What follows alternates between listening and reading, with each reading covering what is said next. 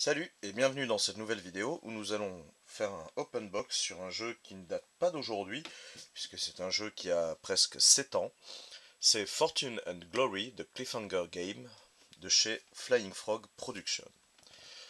Alors c'est une boîte assez imposante, alors elle est moins, grosse, moins, grosse que les boîtes euh, Shadow of Brimstone qui sont éditées par le même, euh, par le même euh, la même boîte d'édition, mais on est à peu près dans une boîte un peu comme euh, les vieilles boîtes de Descent ou, euh, de Run. Donc, une grosse boîte, comme vous voyez, dans laquelle il va y avoir forcément plein de choses. Alors, Fortune and Glory, c'est un jeu de chez FF...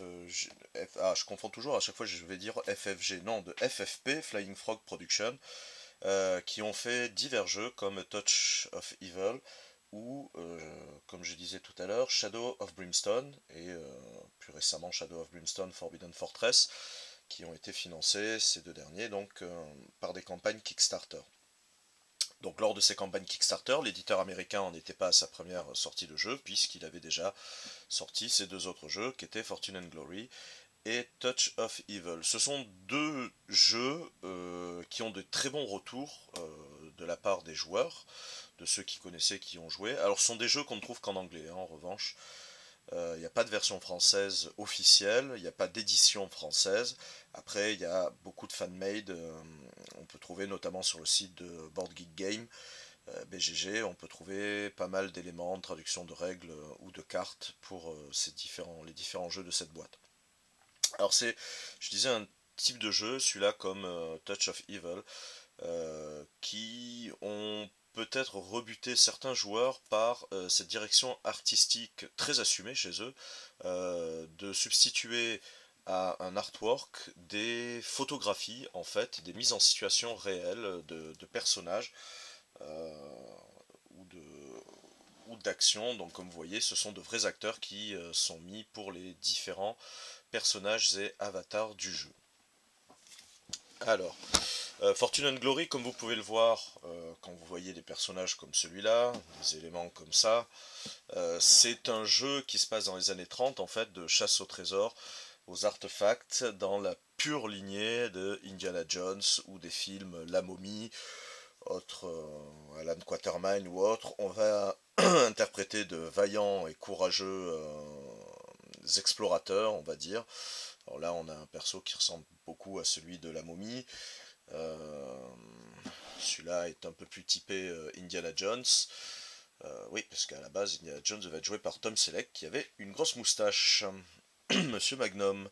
on remarquera qu'ici on retrouve quand même assez Elsa, j'ai oublié le nom de Indiana Jones 3.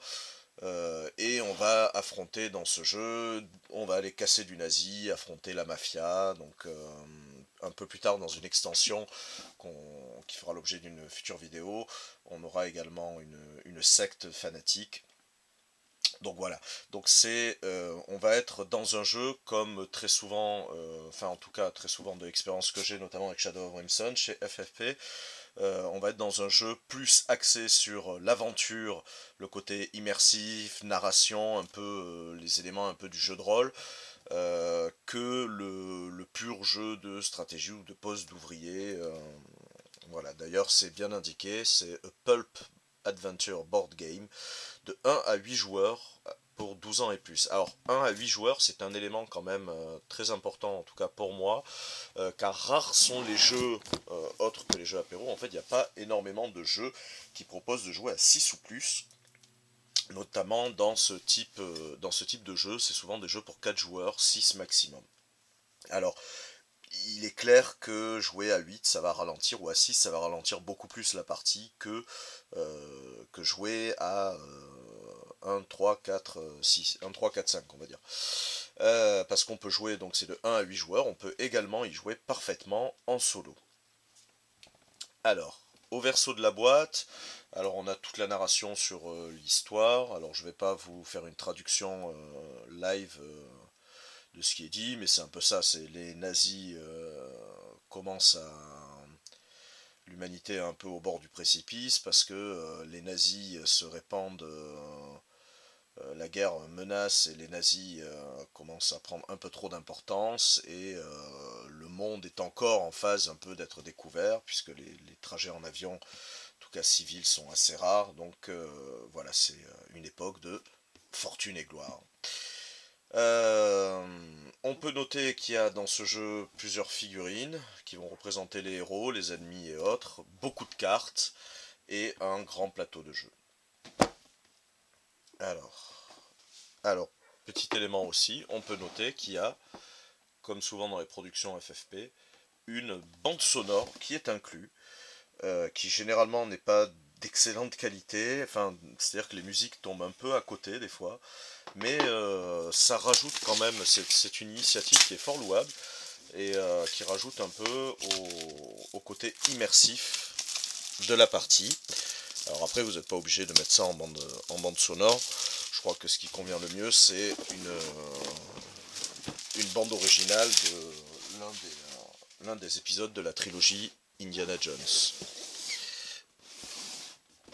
Alors, une boîte en carton épais, bien protégée. La mienne a un petit pet sur le côté, mais c'est dû au transport. Alors, dedans, qu'est-ce que nous avons? Un premier livret, Quick Start Rule, donc des règles rapides de démarrage pour faire une première partie avec peut-être pas tout, les détails, mais une explication euh, globale, c'est pas mal ça. Euh, alors là, on note que c'est la règle pour un jeu compétitif de 2 à 8 joueurs. Parce que le jeu peut être joué en fait de plusieurs façons. Il peut être joué en solo, il peut être joué en compétitif, où chaque héros va être euh, pour soi en fait, pour, euh, dans la course aux artefacts. Il peut être joué également en coopération, où ce seront tous les héros contre euh, une organisation criminelle. Donc pour cette boise, les nazis ou les, les nazis ou la mafia.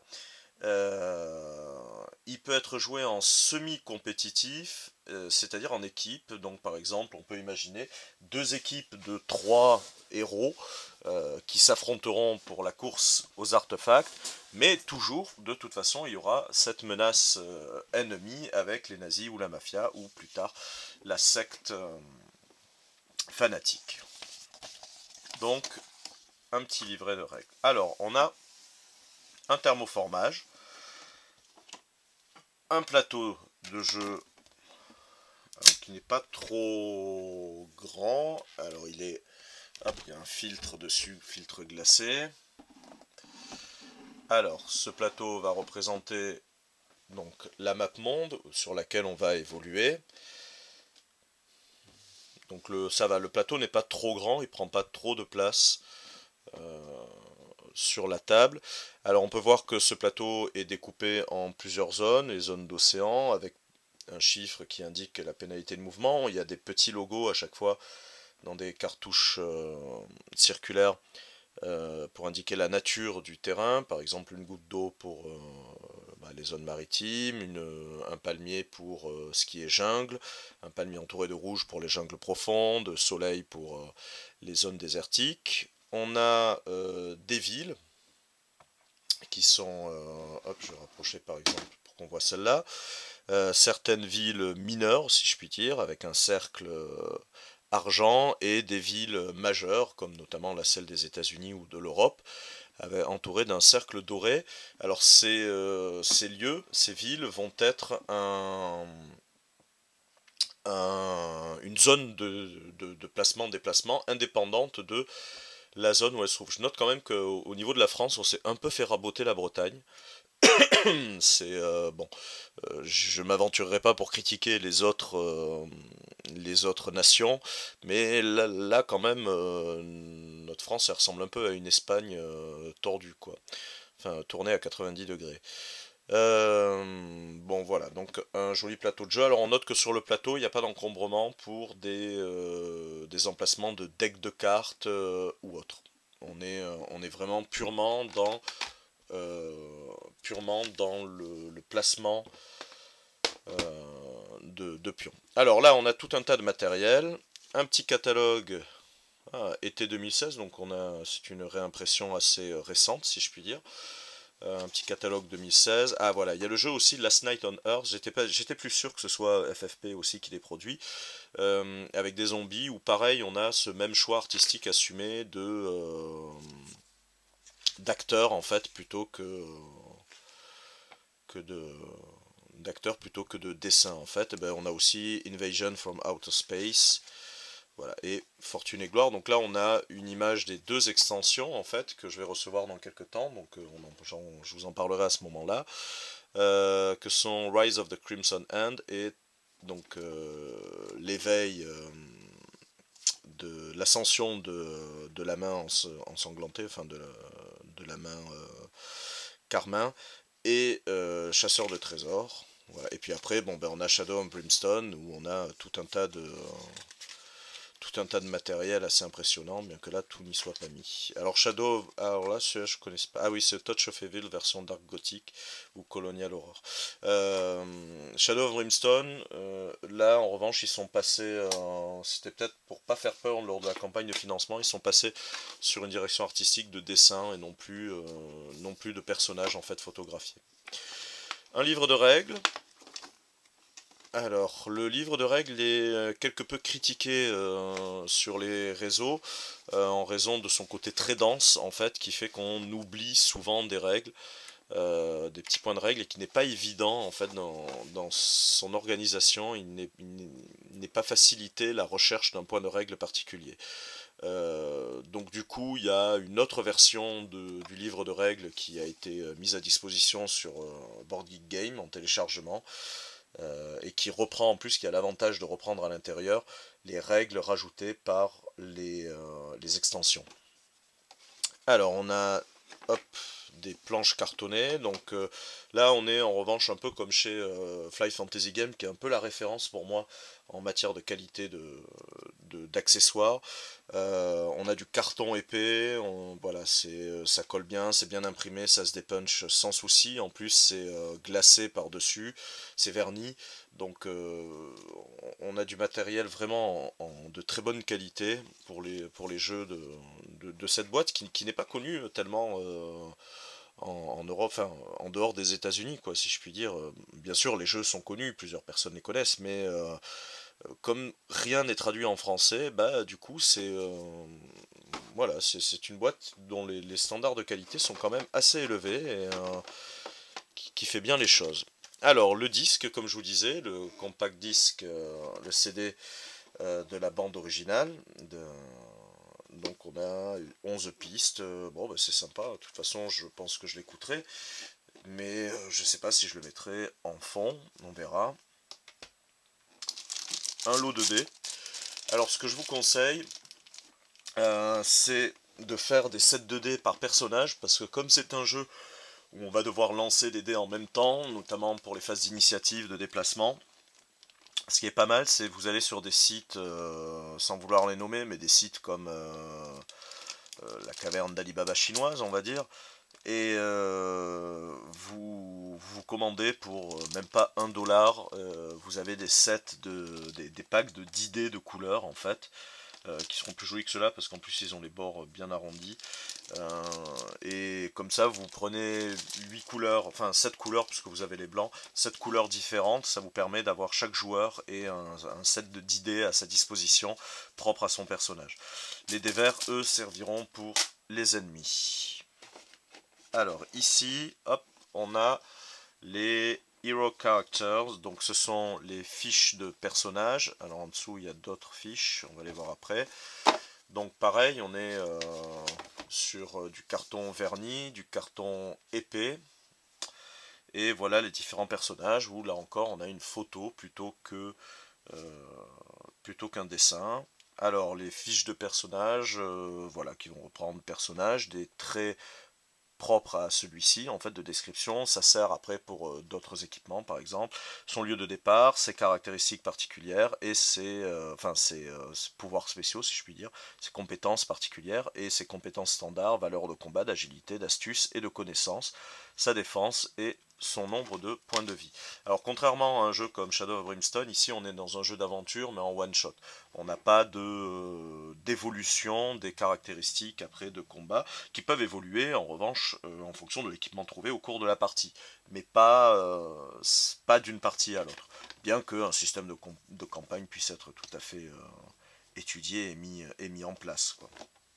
Voilà, donc on a euh, Duke Dudley, Sharon Hunter, la photographe intrépide, Alexander Cartwright, euh, l'écrivain reclus, le docteur Zukov, maître de la science, Shelly Hargrove, euh, pilote, de course, Jake Zane, l'as du pilotage, et enfin mes pilotages avion, Lee Mei Chen, la chanteuse de cabaret, Jack Morrow, le pire de tombes.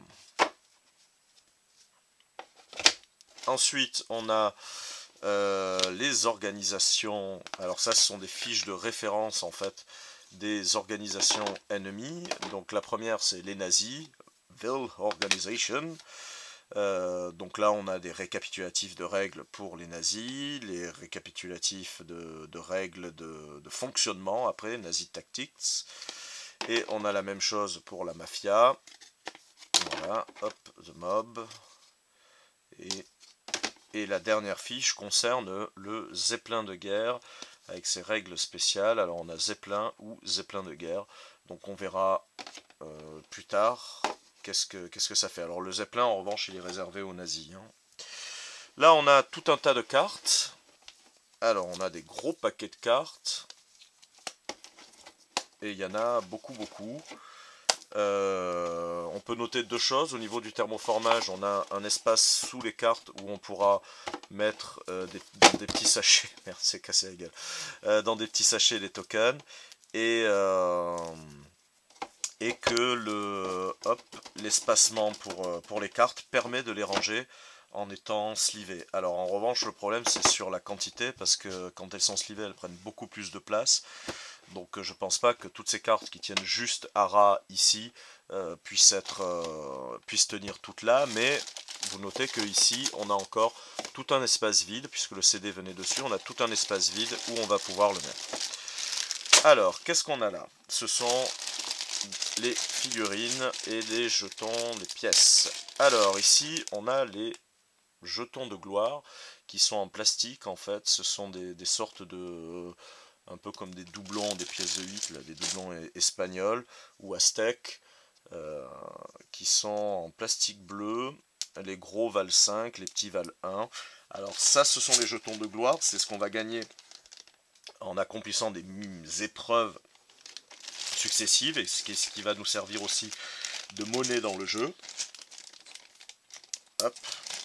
Et là, on a des jetons de fortune. Alors c'est pareil, ce sont des, pièces, il y a les mêmes logos en fait. Euh, bah, il y a la Flying Frog dessus, et sinon c'est un côté un peu aztèque avec des grosses pièces pour 5 et des plus petites euh, pour valeur 1. Et ça, ce sont les pièces de fortune en revanche, euh, que l'on va gagner en vendant les artefacts qu'on aura trouvés, sachant que les... alors, on peut vendre les artefacts qu'on trouve, ou on peut considérer que on les vend pas, on les met dans un musée. On les donne à un musée, puisque leur place est dans, un musée.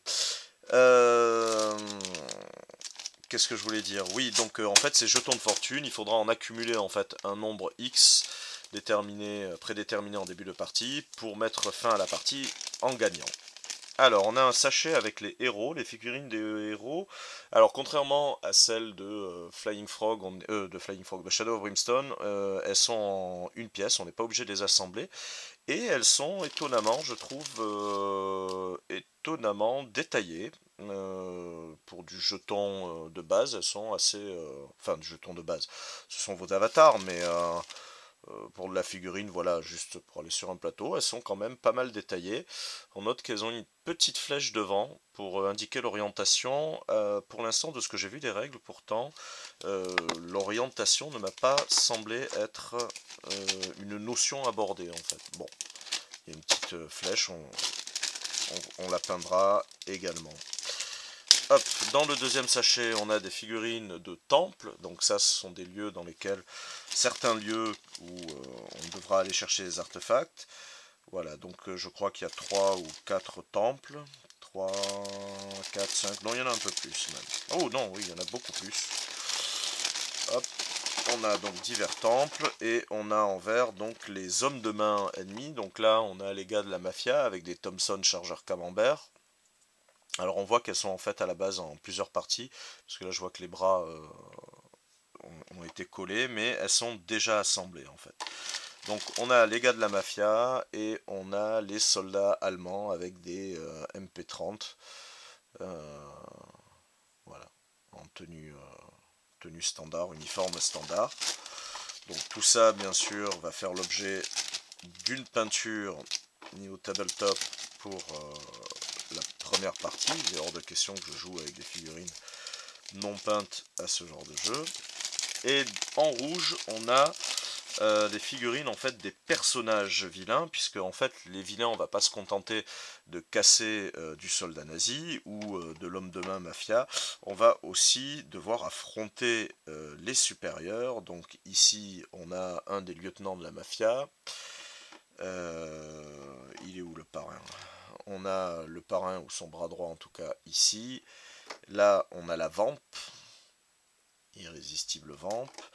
Là, on a notre Elsa, je ne sais pas comment elle s'appelle dans le jeu encore, notre euh, personnage euh, féminin nazi, notre euh, colonel ou général nazi, et le type genre un peu Gestapo Black Ops, hein, qui rappellera les personnages dans Indiana Jones. Les trois d'ailleurs sont très typés Indiana Jones et la dernière croisade.